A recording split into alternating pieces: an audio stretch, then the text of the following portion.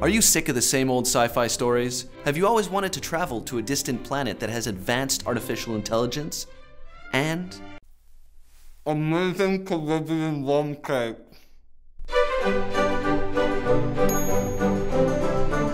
Welcome to Bookwitty's Reading with Matt Cherry. I'm your host, Matt Cherry, your go to guy for recommendations on the best and brightest and undiscovered reads. Just like Lindsay Lohan, science fiction has seen its fair share of highs and lows. If you're a sci fi fan, you might sometimes feel like Ripley at the beginning of Alien 3 disoriented, a bit nauseous, and basically ready to give up. Today, we'll be talking about something that's guaranteed to get you out of this rut Midnight Robber by Nalo Hopkinson. Who is Nalo Hopkinson? Born in Jamaica, she grew up in Guyana and Trinidad before she moved to Canada. Now, I'm also Canadian, so I thought this would be a great opportunity to share three very Canadian accomplishments with you. Michael Cera, Mike Myers. Uh, no, other Mike Myers? Yeah, okay, thank you. And Celine, Di- Celine Dion. So, back to Nalo Hopkinson.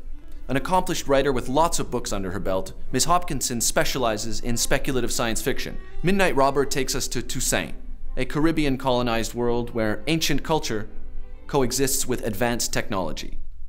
As the book opens, Tantan, its main character, is forced into exile on the prison planet known as New Halfway Tree, a place where folkloric characters are real.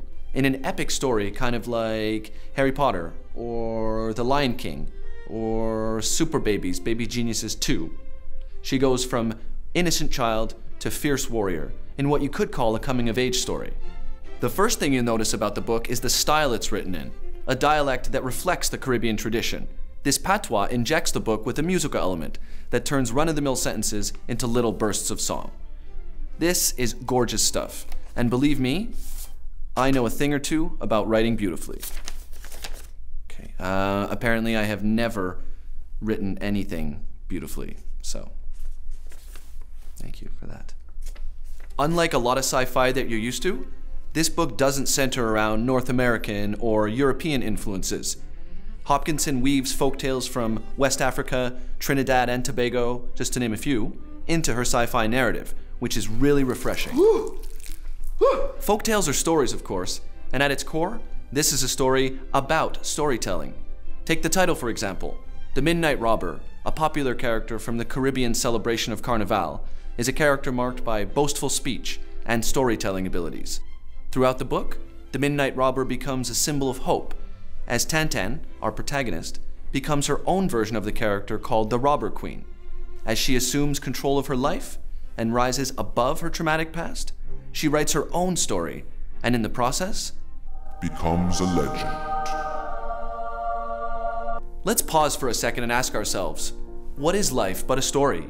A story that, if we're lucky, we get to write ourselves, or at least have JLo play us in the movie version. To sum it up, Midnight Robber, just like the finest Caribbean rum cake, is rich and flavorful, and once you're finished, will leave you completely elated and slightly intoxicated. So if you're in a reading rut and looking to spice up your literary life, get yourself a candlelit room and share a stolen moment with Midnight Robber by Nalo Hopkinson. Can I get some uh, more rum cake? No? Okay. Don't judge me. If you want to buy Midnight Robber, click here. And let me know what you think of the book by subscribing to the Bookwitty channel and leaving your review in the comments section below. And don't forget, you can always visit bookwitty.com to discover more great reads.